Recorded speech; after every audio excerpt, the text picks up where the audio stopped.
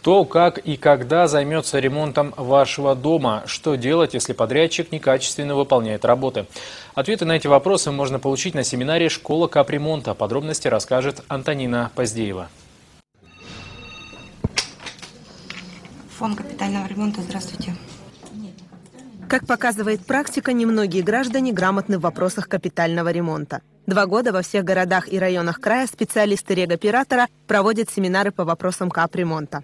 Прошлом году прошло 46 таких встреч, а в этом году уже провели 41 и еще 4 запланировано. За два года уже более 2000 граждан посетили школу ремонта.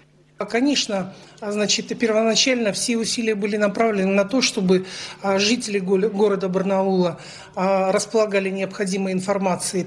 Кроме того, мы выезжали на семинары в крупные города края. То есть охвачены были все а, местности.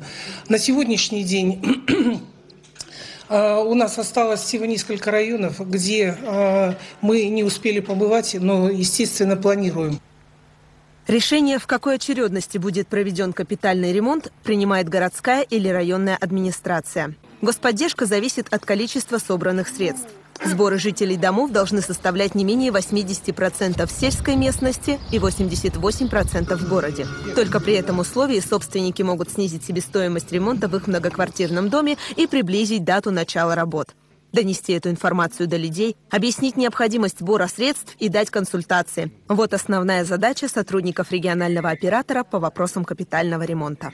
Просто часто захожу на сайт регионального оператора, и поэтому там я увидела, что каждую пятницу проводится эта школа. Я решила посетить и посмотреть, как это все проходит. Там у нас ТСЖ, и мы открыли свой собственный счет, поэтому меня заинтересовали вопросы, на какие именно конкретно цели мы можем использовать эти средства. И дали вообще всем объемлющий вопрос, ответ на эти вопросы, и поэтому я очень довольна и службой, и организацией последнее время увеличился поток граждан, желающих попасть на личный прием. В этом году проконсультировали уже 1235 человек.